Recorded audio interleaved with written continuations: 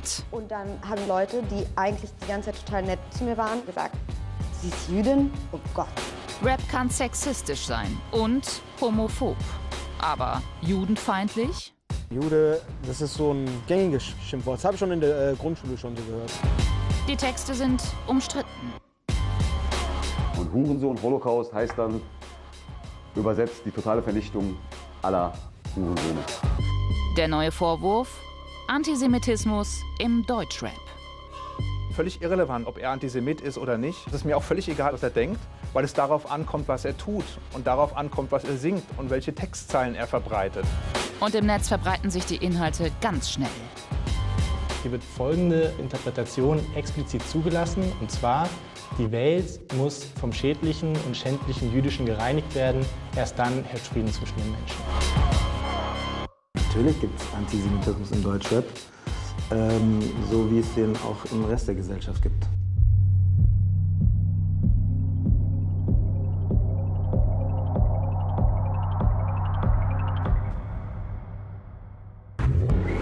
Deutscher Rap boomt bei den Jugendlichen. Über 300 Millionen Abrufe auf dem Streamingdienst Spotify, bis zu 100 Millionen Klicks auf YouTube, etliche Chartplatzierungen jedes Jahr. Deutsche Rapper haben Einfluss in deutschen Kinderzimmern, auf Schulhöfen. Sexismus und Homophobie. Diese Vorwürfe gegen Rapper gibt es schon lange. Judenfeindliche Texte gab es bisher jedoch selten. Doch jetzt mehren sich die Vorwürfe. Selbst Zeilen von populären Rappern sollen antisemitisch sein. Was ist da dran? Im deutschen Rap gibt es kaum Juden, die offen zu ihrer Religion stehen. Marina Bujonashvili ist eine der wenigen. Sie ist eine der bekanntesten Promoterinnen in der Szene, hat schon mit vielen berühmten Rappern gearbeitet. Also am meisten äußert sich der Antisemitismus äh, im deutschen Rap eigentlich hinter den Kulissen. Zum ersten Mal erzählt sie offen von ihren Erfahrungen mit Antisemitismus innerhalb der Szene. Ich war bei einem Festival und habe Backstage gearbeitet und ein junger Mann aus der Rap-Szene war unterwegs, der dann über den ganzen Raum schrie, du Jude, du Jude. Und ich glaube, viele wissen gar nicht, dass ich ähm, auch andere Sprachen verstehe. Ähm, und dann habe ich natürlich auch verstanden, dass Leute, die eigentlich die ganze Zeit total nett zu mir waren, äh, zu demjenigen dann in einer anderen Sprache gesagt haben, so, what the fuck, sie ist Jüdin? Oh Gott, das wussten wir gar nicht. Und direkt deren Verhalten mir gegenüber sich verändert hat. Und es gab schon Künstler, die ähm, nicht mit mir zusammenarbeiten wollten wegen meiner Religion. Keine Ahnung, was deren Angst war, dass ich zu viel Geld möchte, dass ich es nur wegen dem Geld mache, keine Ahnung. Aber ja, die gab's. Ich bin seit 15 Jahren in diesem Bereich tätig. Ich kenne nicht eine einzige Person, die wirklich äh, äh, Antisemit ist. Behauptet Erfan Buruchi, ehemals Manager von Haftbefehl. Ein Rapper, mit dem die Debatte über Antisemitismus begann. Haftbefehl heißt eigentlich Aykut Anhan, ist beliebt bei den Jugendlichen. Landete schon auf Platz 1 der Charts, hat auf Facebook und YouTube hunderttausende Fans. Seine alte Textzeile Ich ticke Kokain an die Juden von der Börse fiel auf. Schon 2014. Judenfeindliche Lines im Hip-Hop? Sowas hat es in der Szene noch nicht gegeben. Der Rapper distanzierte sich mehrmals von seiner alten Textzeile und behauptete, als ich noch als Jugendlicher am Frankfurter Banken- und Bahnhofsviertel Drogen verkaufte, hatten einige meiner Stammkunden jüdische Wurzeln. Ob Haftbefehl ein Antisemit ist? Nee, das muss ich komplett verneinen. Ich kenne ihn persönlich sehr, sehr gut. Und wegen Lines, wie ich ticke äh, äh, äh, Kokain an die Juden von der Börse, das ist die Realität, die wiedergegeben wird. Der damalige Haftbefehlmanager hat die Debatte über die Textzeile miterlebt. Er kann die Aufregung nicht verstehen.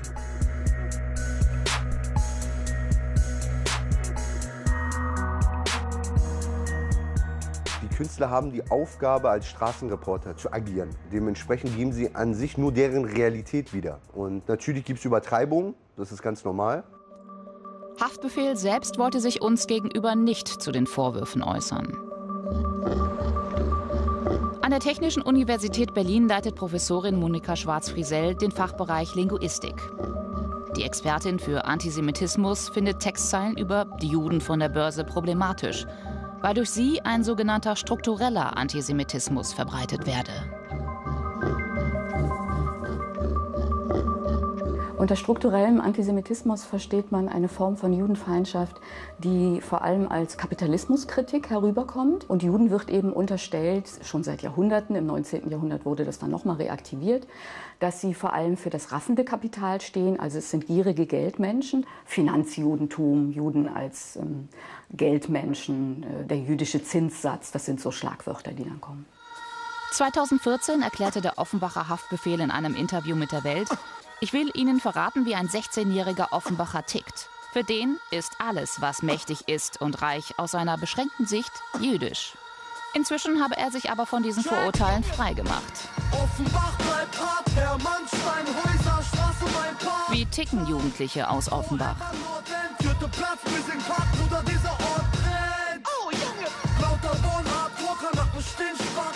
Zum Beispiel die Heroes, eine Projektgruppe des Deutschen Roten Kreuzes.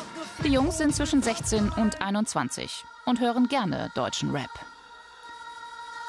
Wie kommen die Songs bei den Jungs an?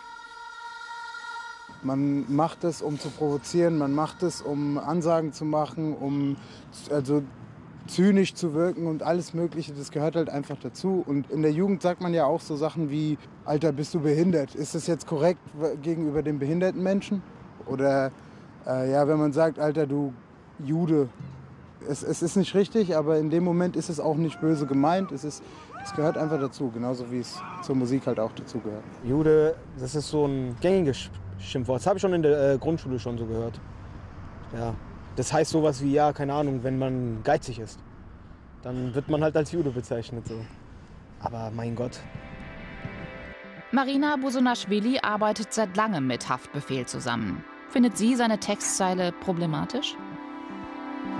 Also über die Textzeile von Rappern kann ich eigentlich nicht viel sagen, weil ich finde, wenn jemand rappt, ich habe äh, Drogen an die Juden getickt oder so und es waren Juden, dann ist das einfach nur ein Fakt dann ist das für mich auch kein Antisemitismus und dann finde ich es auch sehr schwierig, ähm, dass Leute das da raushören wollen. Und ich weiß nicht, wie oft er eigentlich noch in Interviews äh, hätte sagen müssen, so, dass er das gerappt hat, weil es einfach ein Fakt war. So, hätte er Haribos an die Pinguine verkauft, hätte er darüber gerappt. Und die Jugendlichen? Wie finden Sie Haftbefehlsleihen? Bei den Rap-Liedern handelt es sich ja meistens um Klischees, wie in diesem Fall mit den Juden und der Börse und den Banken und so weiter. Genauso gibt es auch in den Rap-Liedern wie zum Beispiel der türkische Dönerverkäufer oder sowas in der Art. Das sind einfach Klischees, die einfach in den Rap-Liedern auch äh, erfrischt werden. Ich, ich finde, das ist sogar ein, ein Kompliment. Judenbörse, das ist so, bedeutet ja viel Geld. Ich würde es als Kompliment sehen.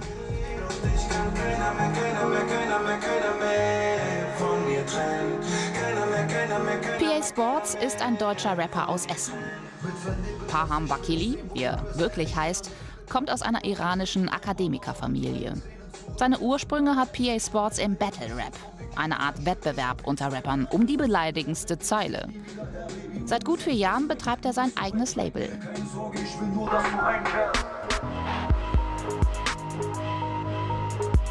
Du kannst mir keine Textzeile nennen von irgendeinem Rapper, der ganz provokant und ignorant einen Satz gegen Juden gerappt hat. Solange du mir diese Textzeile nicht hervorbringen kannst, ist einfach nur ein Vorurteil. Deutscher Rap ist voll mit Kanaken und deswegen ist deutscher Rap antisemitisch.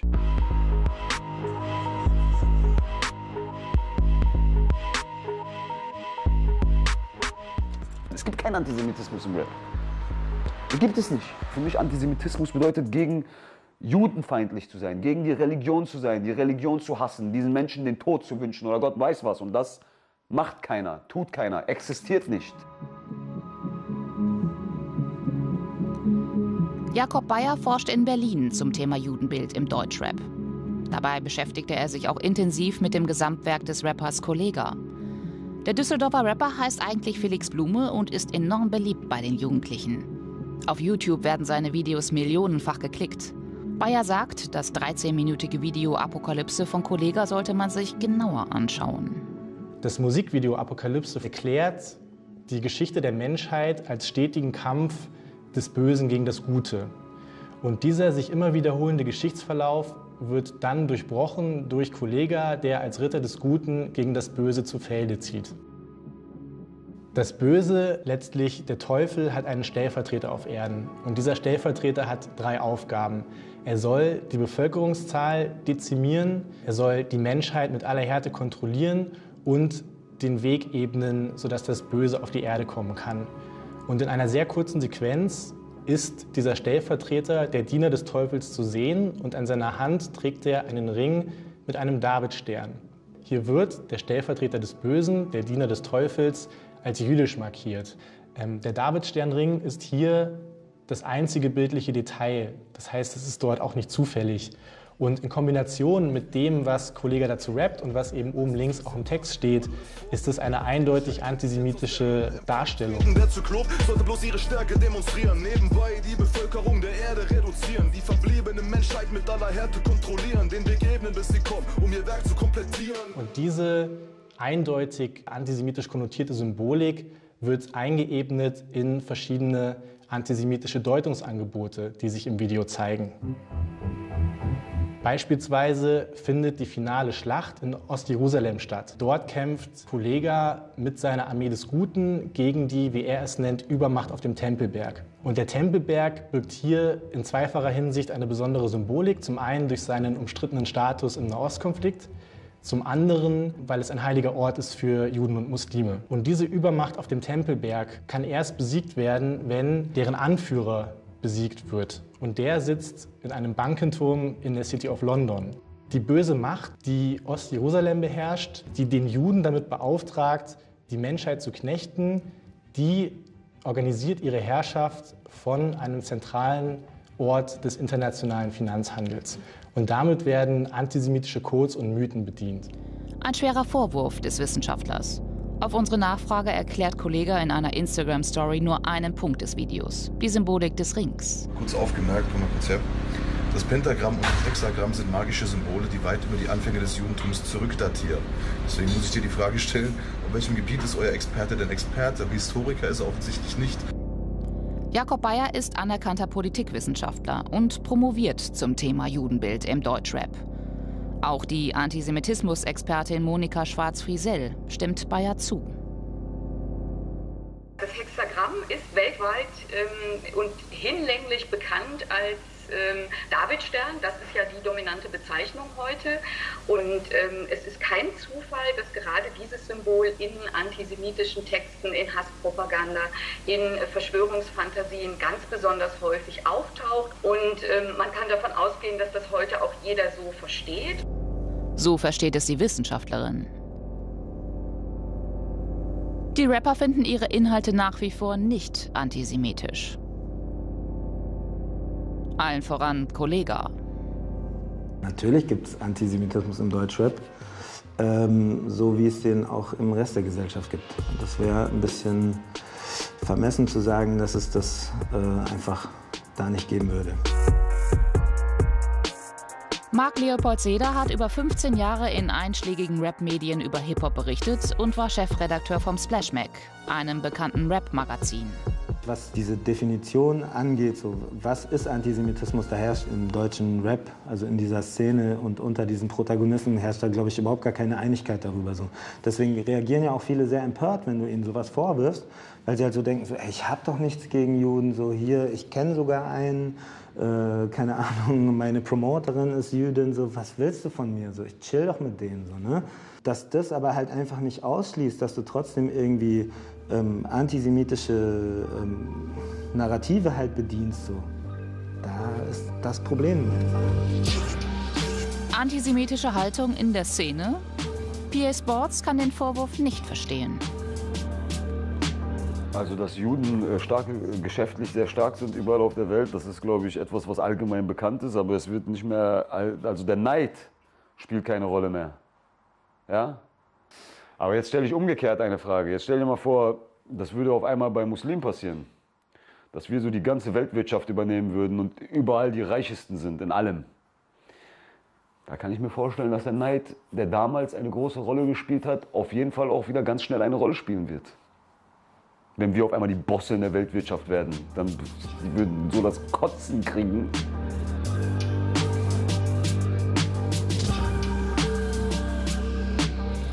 Wenn jetzt das vorherrschende Bild da ist, dass Juden Banker sind. Ist das Antisemitismus auch ein Antisemitismus? Dann denkt man halt, dass Juden, Bank Juden Banker sind, so wie fast alle denken, dass Iraner Ärzte sind. Oder äh, das ist ja so. Es ist doch so. Was ist der Unterschied? Alle denken, Iraner, bist du Iraner, studierst in Medizin. Bist du Jude, bist du Banker?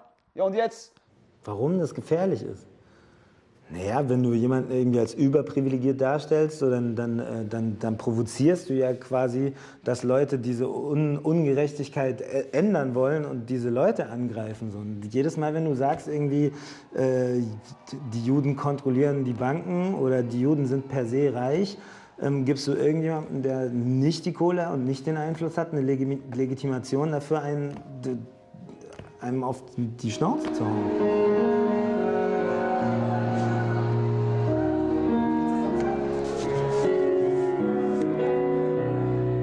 Oft so ein bisschen das Problem damit, dass die Leute gar nicht so richtig wissen, glaube ich, was Antisemitismus ist und sich das vorstellen wie so, ein, wie so eine Art antijüdischen Rassismus oder so.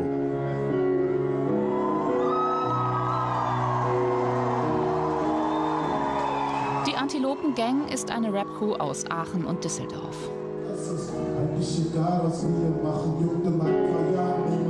Sie engagieren sich mit ihren Songs auch gegen Nazis, Rechtspopulisten und Antisemiten.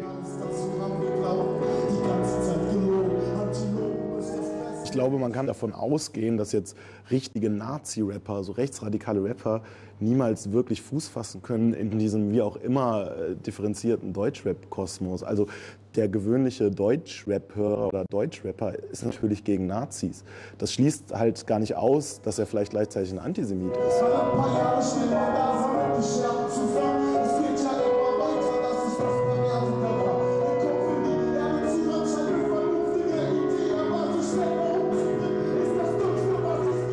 Wahrscheinlich in der deutschen Rap-Szene wenig so einen klassischen rechtsradikalen Antisemitismus finden, so wie das die Nazis gemacht haben. Also du wirst niemals oder fast nie einen Rapper finden, der irgendwie sagt, er hat was gegen Juden oder so. Die haben immer nur was gegen die israelische Regierung oder gegen Zionisten oder dagegen, dass Banken zu viel Macht haben oder so. Das sind so die zeitgemäßen Formen vom Antisemitismus heutzutage.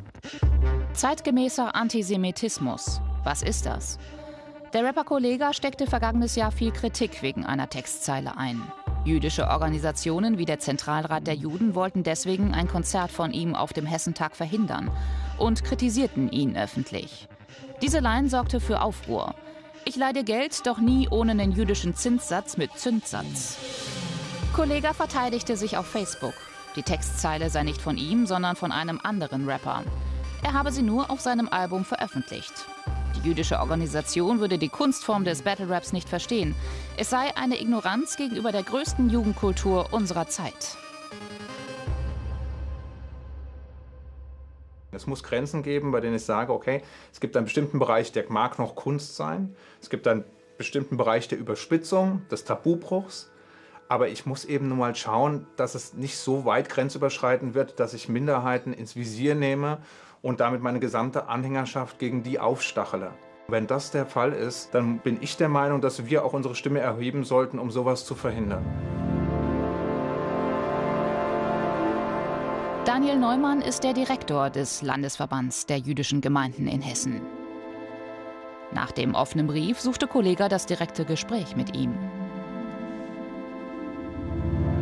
an dem Tag, an dem die Pressemitteilung herausgegeben worden ist von unserer Seite und klar war, ähm, dass die Stadt Rüsselheim dazu neigt, den ähm, Auftritt von Kollega abzusagen, rief Kollega mich an und hat in dem Telefonat versucht darzustellen, dass die Vorwürfe nicht stichhaltig seien, die wir da erhoben hätten speziell, dass er kein Antisemit sei. Das war eben das Allerwichtigste. Also das homophobe, sexistische, das war jetzt weniger problematisch, aber äh, der Antisemitismusvorwurf lastete schwer auf ihm und den wollte er loswerden. Während ich ihm damals versucht habe klarzumachen, dass es völlig irrelevant ist, ob er Antisemit ist oder nicht, dass es mir auch völlig egal ist, was er denkt, weil es darauf ankommt, was er tut und darauf ankommt, was er singt und welche Textzeilen er verbreitet. Und wenn die antisemitische Stereotype verbreiten und wenn die antisemitische Inhalte haben und judenfeindliche Inhalte, dann ist es mir völlig egal, was Kollega als Person in seinem Kopf mit sich herumträgt. Kollegas Auftritt beim Hessentag wurde am Ende abgesagt. Seine Fans waren enttäuscht. 06, 069! Mein Sach Verstehen die Offenbacher Jugendlichen die Aufregung um solche Textzeilen? Ich kenne jetzt niemanden, der sich das zu Herzen nimmt oder so. Ich habe jetzt, auch jüdische Freunde, so die hören sich das auch an. Also von daher, die nehmen das nicht so ernst. Ich nehme das auch nicht ernst. Wenn jemand irgendwie über Islam oder über keine Ahnung über eine Religion hin äh, was Beleidigendes sagen würde, würde ich das nicht ernst nehmen. So. Es ist doch nur Musik, es ist Kunst, also von daher.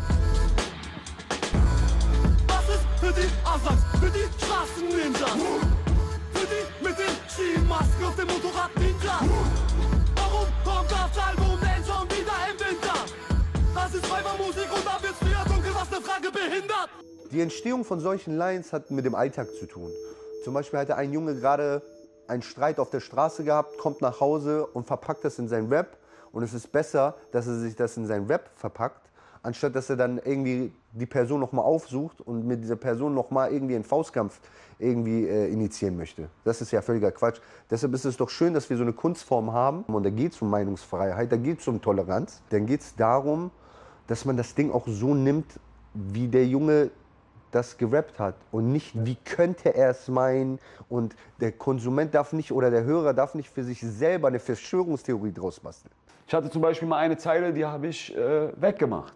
Ne? Die es nicht, die kann ich jetzt aber mal zitieren. Dann sage ich irgendwie Blaulicht, Rauschgift. Ich reime die ganze Zeit darauf, also viele Zeilen hinweg. Und dann sage ich irgendwann, den Rappern bleibt die Luft weg. Auschwitz. Ja? Und das, da habe ich das Auschwitz unkenntlich gemacht. Weil viele Leute zu mir gekommen sind und gesagt haben, Dicker, das kannst du nicht sagen. Und ich sage, warum kann ich das nicht sagen? Ich mache mich doch nicht lustig darüber, was passiert. Ich sage, Rapper bleibt die Luft weg, das ist ein Vergleich. Und es ist bekannt, dass dort Menschen vergast wurden. Wenn ein Mensch vergast wird, bleibt ihm die Luft weg. Diese übertriebenen und verspitzten Vergleiche, die auch manchmal moralisch ein bisschen unter die Gürtellinie gehen, sind halt Handwerk im deutschen Rap. Es ist ein Stilmittel im deutschen Rap. Ich könnte jetzt nicht sagen, äh, Kunstfreiheit legitimiert alles aber auch nicht, du darfst nichts machen. So. Es kommt wirklich drauf an. So. Aber wenn ich das Gefühl habe, jemand fährt halt eine antisemitische Agenda und will irgendwie äh, auch eine ernste politische Aussage in seinen Augen tätigen und die ist halt antisemitisch, dann äh, ist das nicht einfach nur Kunstfreiheit.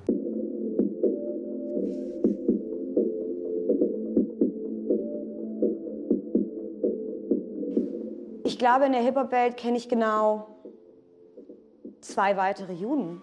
Ben Salomo, auch der Macher von Rap am Mittwoch. Und ähm, SpongeBob. San Diego ist ukrainischer Jude. Er ist als Rapper im SpongeBob-Kostüm unter dem Namen SpongeBoss bekannt geworden.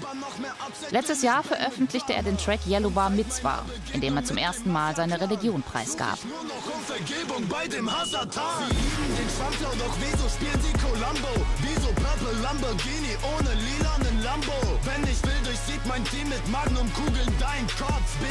Ein Interview konnte er uns nicht geben. Dieses Jahr veröffentlichte er ein Buch. Darin schreibt er über seine jüdische Identität.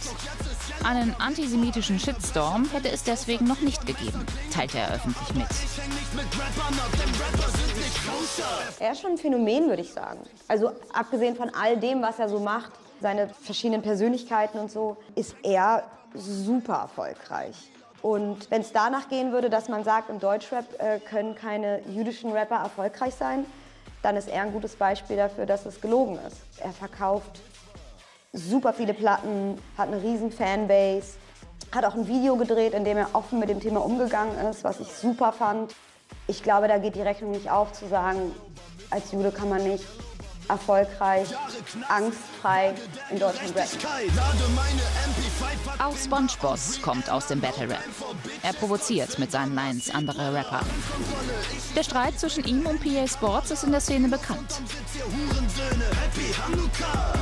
Ich habe zum Beispiel ein Battle dieses Jahr gehabt mit einem Rapper, der Jude ist. Er heißt Santiago, als Rapper in der deutschen Szene hauptsächlich als Spongeboss bekannt. Und mit ihm habe ich mich auch ziemlich hart gedisst.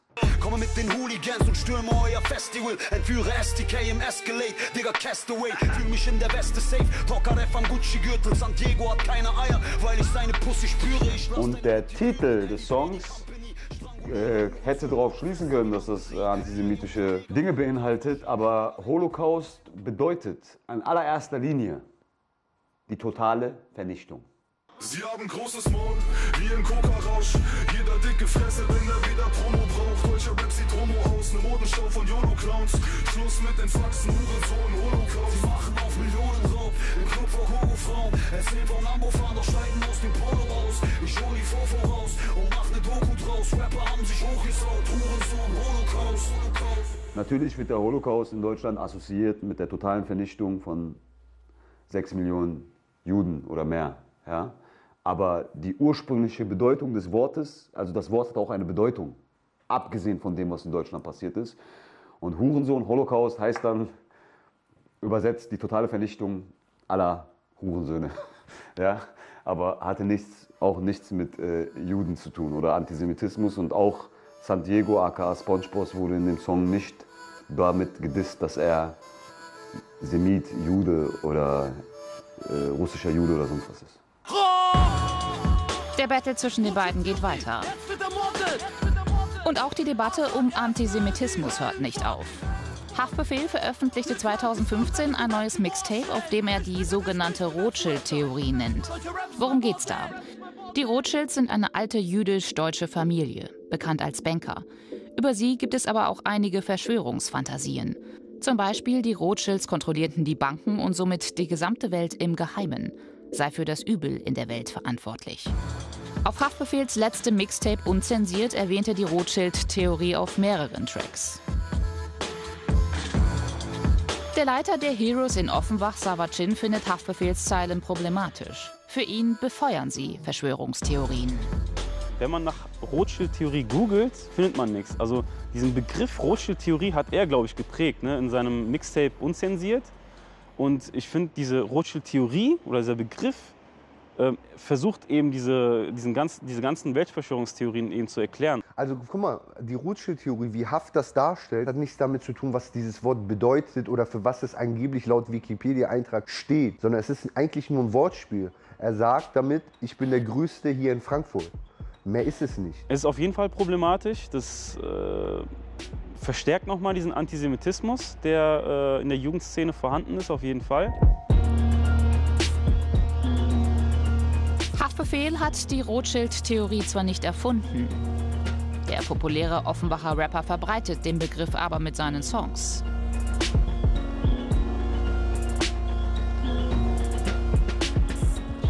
Die Jugendlichen kannten den Begriff schon vorher.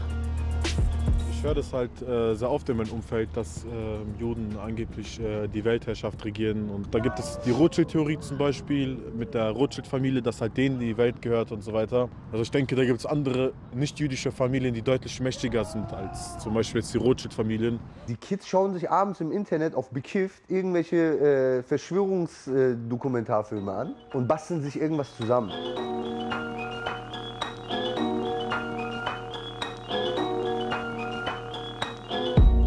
Dümmste, aber gleichzeitig nachvollziehbarste Sozialkritik überhaupt so. Mir geht's nicht gut, äh, finanziell, sozial, keine Ahnung. Da muss jemand dran schuld sein.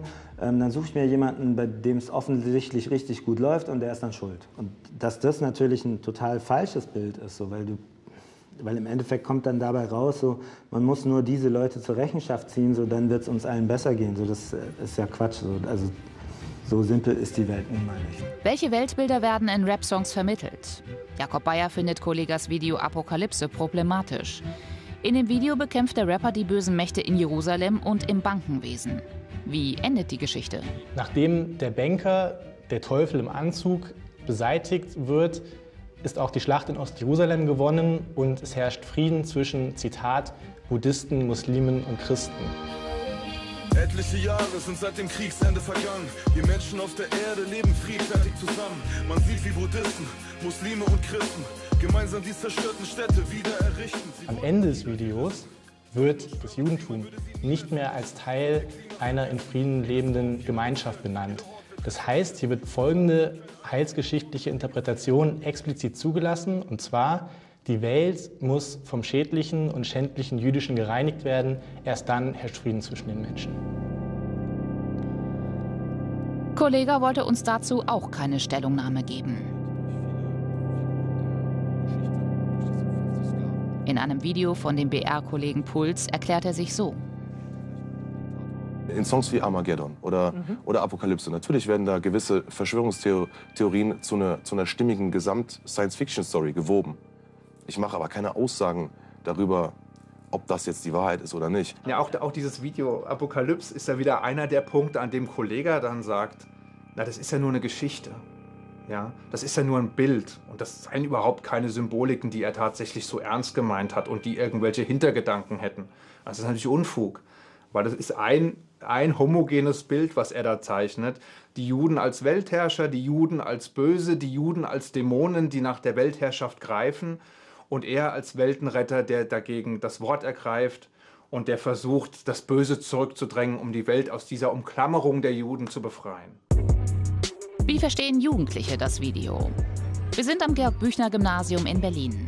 Eine 10. Klasse analysiert das Apokalypse-Video von Kollega. Die meisten von ihnen sind große Rap-Fans. Hören wir mal rein und schauen uns das Video auch an. Apokalypse. Mir wurde offenbar, was uns niemand anderes sah. Doch jetzt sieht man die Gefahr von Palästina bis Katar. Was geschrieben stand, es wahr. Im Talmud, im Koran und in der Bibel lass ich's nach. Der Niedergang ist etliche Jahre sind seit dem Kriegsende vergangen. Die Menschen auf der Erde leben friedfertig zusammen. Man sieht wie Buddhisten, Muslime und Christen gemeinsam die zerstörten Städte wieder errichten. Sie wurden niedergerissen.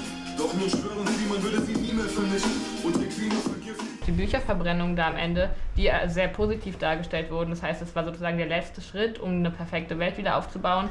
Und das ist ja eine ganz klare Anspielung auf die Bücherverbrennungen, würde ich sagen. Und das ist ja nicht nur antisemitisch, sondern spielt auch total dem Rechtsextremismus irgendwie in die Hände.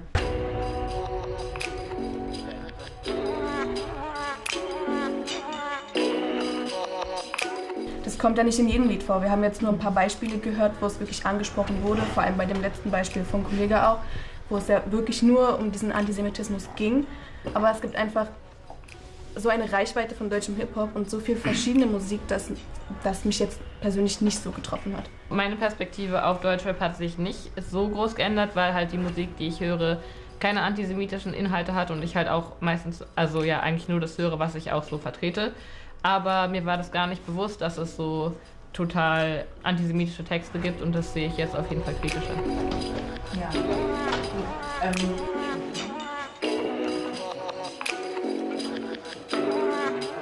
Apokalypse hat mich sehr erschreckt.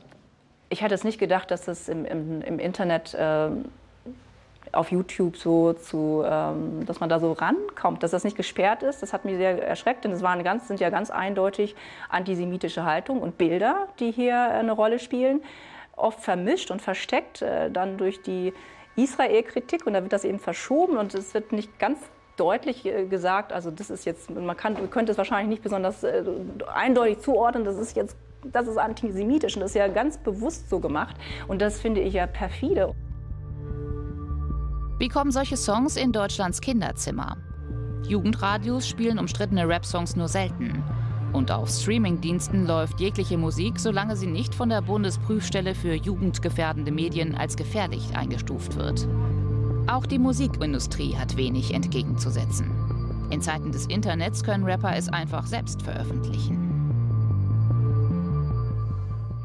Die meisten Rapper sind ihre eigenen Chefs, haben ihre eigenen Labels, haben sich ihre eigenen Reichweiten im Internet aufgebaut, haben keine Industrie über sich sitzen, die sagt, ey, wenn du jetzt das sagst, werden wir dich nicht mehr pushen. Das ist scheißegal. So und deswegen reden Rapper. Dadurch, dass halt Rap mittlerweile so ist, dass es kein mediales Korrektiv mehr gibt. Also die Leute sind ihre eigenen Plattformen. Es gibt keine Magazine mehr, in denen dann drin steht, so hey, das, was du da gesagt hast, ist totaler Quatsch. So, ne? Deswegen, ich glaube, die Haltung, die ein Rapper heutzutage hat, ein erfolgreicher Rapper ist, ich habe recht, sieht man doch, wie viele Leute mir folgen. So, weißt du? So ist auch Kollegas Reichweite enorm. Er hält den deutschen Rekord auf Spotify. Knapp 30 Millionen Albumstreams in einer Woche. Auf Facebook fast 2 Millionen Follower. Auf YouTube eine Million. Seine Videos bekommen zum Teil auch 14 Millionen Klicks. In seinem Kanal sind auch manche Filme umstritten. In der Debatte über den Antisemitismus in Kollegas Texten, Musikvideos und so weiter ähm, hat aus meiner Sicht vor allem eine Debatte über seinen Film Kollege in Palästina überwogen. Kollega in Palästina, den der Rapper 2016 drehte und veröffentlichte, wurde stark kritisiert. Zeigen dürfen wir ihn hier nicht. Der Vorwurf vieler Kritiker, Kollega habe zu einseitig über den Nahostkonflikt berichtet. Pro Palästinenser. Kollega ist nicht der einzige Rapper, der im Nahostkonflikt auf der palästinensischen Seite steht. Also ich würde mal behaupten, dass es relativ äh, gängig ist, so Free Palestine oder so zu rufen. So. Also es gibt auf jeden Fall so einen pro-palästinensischen Mainstream, so, der ist äh, mal mehr, mal weniger vorhanden.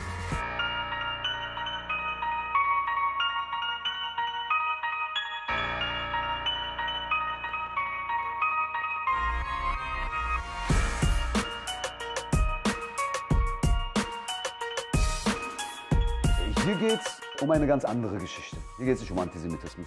Hier geht es um äh, darum, dass das Bild nach außen geraten ist, dass gewisse Menschen mit Migrationshintergrund, darunter auch viele, die in der Hip-Hop-Szene aktiv sind oder die es in der Hip-Hop-Szene gibt, aber die es eigentlich überall einfach gibt, nicht nur in der Hip-Hop-Szene, ein Problem mit dem Staat Israel haben.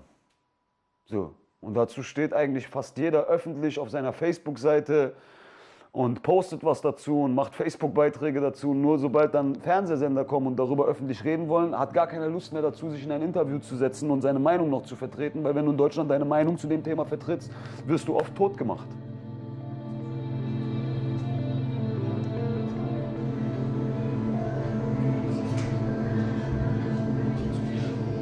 Ich glaube halt einfach, dass es was damit zu tun hat, dass äh, in Palästina sehr viele Muslime sterben. Und sehr viele Rapper in Deutschland äh, haben halt einen muslimischen Hintergrund und fühlen da halt mit und sehen da halt Unrecht passieren und deswegen sprechen die sich für Palästina aus.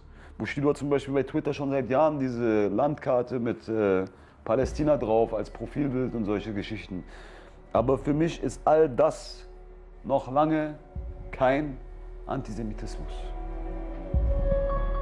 Einfach nur Kritik an Israel oder gleich Antisemitismus? Monika Schwarz-Friesell erklärt, wann Kritik an Israel zu Antisemitismus wird. Israelbezogener Antisemitismus hat mit Realität nichts zu tun und ist auch nicht problemorientiert, sondern dieser Antisemitismus möchte einfach Israel von der Landkarte tilgen. Und ähm, das Hauptkriterium ist, und das kann eigentlich jeder sehr schnell erkennen, wenn ein judenfeindliches Stereotyp auf Israel projiziert wird, dann ist es klar und unmissverständlich Verbalantisemitismus und keine Kritik.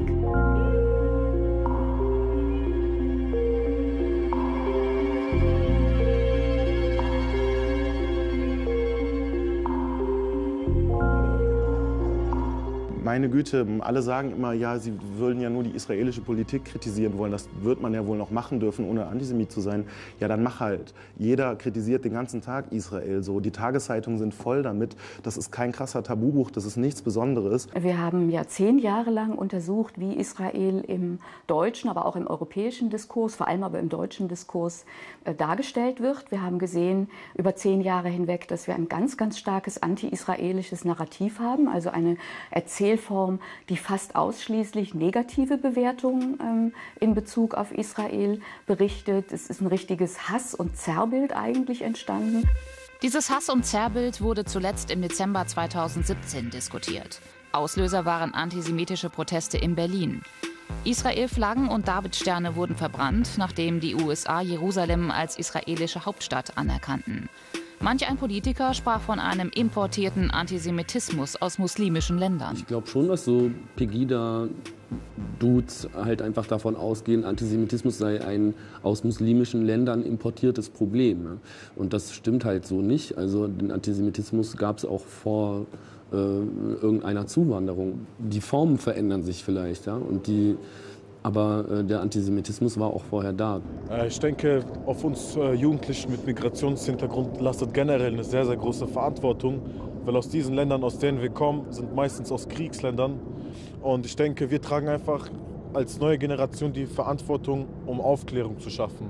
Und ich denke einfach, wenn wir als neue Generation uns einfach zusammentun und einfach gemeinsam alles mitwirken, wird alles besser. Und wenn wir uns auch freundschaftlich untereinander lustig machen, finde ich das auch völlig okay. So ein bisschen Beleidigung muss schon sein, weil über was soll man denn, über was soll man denn sonst lachen? So, also, ja.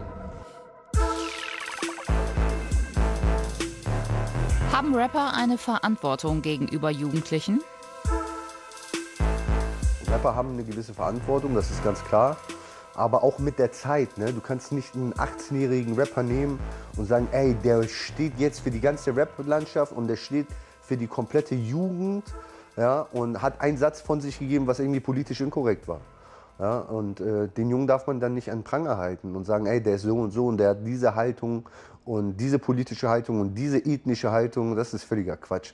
Das sollte man nicht machen, sondern eher versuchen, wie gesagt, auch jetzt einen Dialog zu finden. Also ich finde auch nicht, dass, äh, dass Rapper jetzt irgendwie die Aufgabe hätten, pädagogisch auf die Jugend einzuwirken oder so ein Quatsch. Also ich finde das dann eher interessant in anderen Zusammenhängen. Also Panik Panzer hatte eine antisemitische Lehrerin in der Schule und da in, an solchen Schlüsselpositionen, wo Leute äh, äh, Fachkräfte sind, so, da, da würde ich mir schon wünschen, dass die vorher ein Studium Generale machen und sich einfach mal sensibilisieren auf so Themen. Dennoch, der Einfluss von deutschen Rappern auf Jugendliche ist enorm. Dass manche Inhalte antisemitisch verstanden werden könnten, weisen viele Künstler aber immer noch zurück. Es stimmt ja nicht, dass es keinen Antisemitismus gibt in Deutschrap. Den gibt es ja. Und ich glaube, da würdest du Türen öffnen. Und ich glaube weit dahin, dass du es auf einer ganz anderen Basis führen musst und nicht auf Basis der Texte der Künstler. Und ich glaube, das ist bis heute der große Fehler. Für die jüdische Promoterin ist klar, man sollte nicht einzelne Textzeilen von Rappern auseinandernehmen, um Antisemitismus zu erkennen. Man sollte sich die Botschaft eines Künstlers anschauen. Das große Ganze. Szenekenner und Antisemitismusexperten kritisieren nach wie vor, dass Rapper antisemitische Botschaften in ihren Songs haben. Das werde oft nicht erkannt und darum auch nicht darüber gesprochen. Wenn du Rassismus einfach nur da siehst, wo Rechtsradikale auf der Straße Leute jagen, so, ne? Das ist ja auch nicht die Definition von Rassismus so. Aber da versteht es ja jeder so, weißt du, dass zum Beispiel du, dass da diverse Benachteiligungen gibt, dass es da Vorurteile gibt. Bei Rassismus wird das in, in diesem ganzen Deutschrap-Ding halt schon im Großen und Ganzen verstanden. So, ne? Aber was daran antisemitisch sein soll, wenn ich behaupte, ähm, eine kleine Gruppe von Leuten steuert die Welt im Geheimen, so, das ist offensichtlich nicht so richtig verstanden worden. Antisemitismus. Warum ist das ein Problem im Deutschrap? Für Kolscher von der Antilopengang ist die Sache klar. All diese Probleme, die du in der Gesamtgesellschaft findest, die findest du auch im Hip-Hop. Das ist ja eigentlich ganz simpel. So, Hip-Hop ist ja nicht in so einem luftleeren Raum außerhalb der Gesellschaft. So. In einer antisemitischen Gesellschaft wirst du halt auch antisemitische Rapper finden und das gilt auch für eine sexistische Gesellschaft und sexistische Rapper und so weiter und so fort. So.